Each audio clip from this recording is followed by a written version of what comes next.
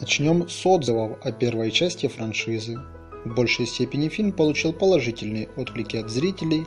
Кроме того, картина «Около футбола» собрала в общероссийском прокате колоссальные 150 миллионов рублей при бюджете в 2,4 миллиона, тем самым окупив себя более чем в 5 раз, что сделало фильм Антона Барматова с коммерческой точки зрения весьма успешным.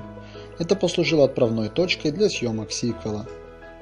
Однако кинокритики не оценили работу режиссера и сценаристов. Так, во время международного кинофестиваля, который проходил в Санкт-Петербурге, фильм «Около футбола» был показан, но после просмотра исключен из конкурса.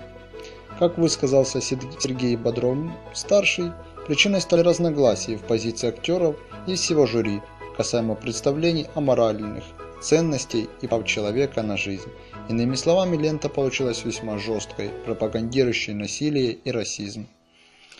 Для сценариста Дмитрий Лемешев это не первая картина, пропагандирующая футбол.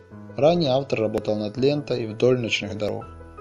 Один из самых запоминающих эпизодов «Драка фанатов» на платформе метро Конькова была отснята вовсе не в Москве, а в Нижнем Новгороде. Однако также в метрополитене на станции Парк культуры. Некоторые сцены были сняты в Питере, но большая часть все же проходила в столице и на ее окраинах.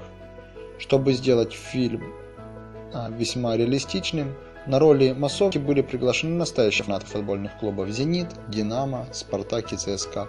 Кроме того, в около футбола не раз появляются хулиганы клубов «Балтика», «Нижний Новгород», «Волга», «Орел» и других.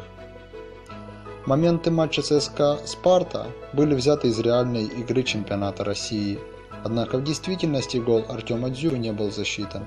В фильме же при помощи монтажа его защитили. Съемки около футбола 2 начнутся летом 2017 года. Премьера, согласно графика Кара фильм, запланирована на весну 2018 года. Подписывайтесь на наш канал, ставьте лайки, оставляйте комментарии, нажимайте на колокольчик, чтобы не пропустить новые видео и следите за всеми новинками кинопроката вместе с нами.